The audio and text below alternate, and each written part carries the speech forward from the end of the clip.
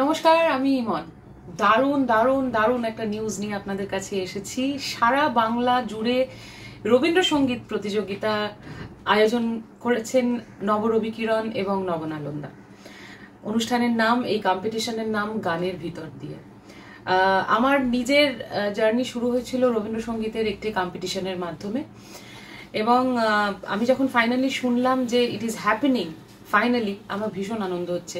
Thanks to Arijit মিত্র, এরকম একটা innovative কাজ আবার নতুন করে করার জন্য যারা রবীন্দ্রনাথের গান মন থেকে ভালোবাসেন, প্রাণ থেকে ভালোবাসেন প্লিজ জয়েন করুন এই কম্পিটিশনটা আমার এই পোস্টের নিচে সমস্ত ডিটেলস দেওয়া থাকবে।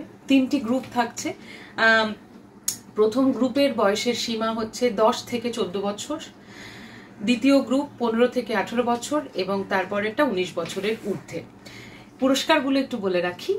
প্রথম পুরস্কার বারো হাজার টাকা, দ্বিতীয় পুরস্কার আট হাজার টাকা, তৃতীয় পুরস্কার পাঁচ হাজার টাকা।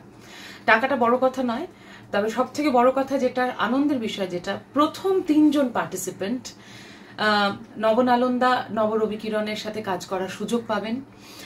তারা মিউজিক অ্যালবাম করতে পারবেন ভিডিও অ্যালবাম করতে পারবেন এবং আমাদের কাছে সব থেকে বেশি আমরা মুখিয়ে থাকি যেটার জন্য কবিপক্ষের দিন সকালবেলা নবনালন্দার প্রাঙ্গণে আপনারা কবিপক্ষে গান গাইতে পারবেন।